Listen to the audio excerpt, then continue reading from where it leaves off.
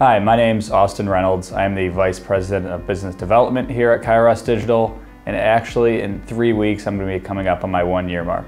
How I found Kyros was actually pretty interesting. Uh, I was on the golf course here at Thousand Oaks.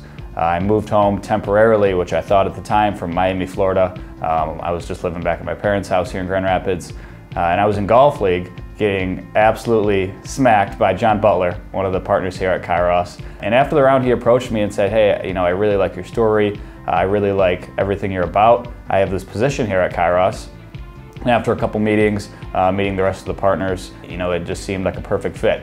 So I accepted the job here at Kyros, let everyone in Miami know I, I was, I was here to stay in Michigan for good. And um, yeah, kind of a funky story, but it's really happy how it turned out. In the last year, uh, I've grown immensely as far as knowing the technology, the different acronyms that come with software development. Uh, the team here at Kyros has really helped me out a lot. some of the developers have really uh, brought me up to speed uh, with learning some of the lingo, but on the other side of the things, the business development, just my public speaking from putting myself in uh, unfamiliar situations, the learning or the, the willingness to connect people even if it doesn't directly benefit you, always trying to help someone out, uh, knowing it's always going to come back to you. I think it, it's just uh, being a good person, especially in business development and sales. That's one thing I've really, really picked up here in my time in the last year at Kyros watching how Chris, watching how Nate uh, do things, um, picking up just from what the successful people have done in the past and trying to implement it uh, in my day-to-day,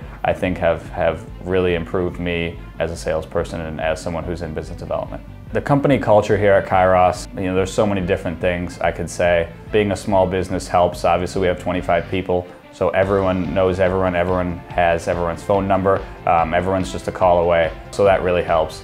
And I think the fact that John, Nate, and Chris, the partners here at Kyros, make themselves present, uh, their office doors are always open, really just speaks to the fact that you know they like to put themselves on the same level as all the employees.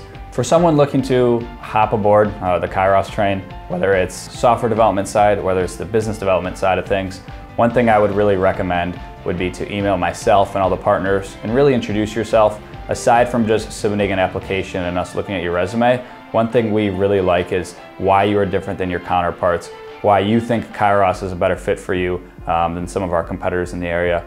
And then also your two to three to five year plan. Uh, that's really important for us. We really want to help you uh, achieve those milestones. And if Kyros is in your future, I look forward to meeting you and having you a part of our team.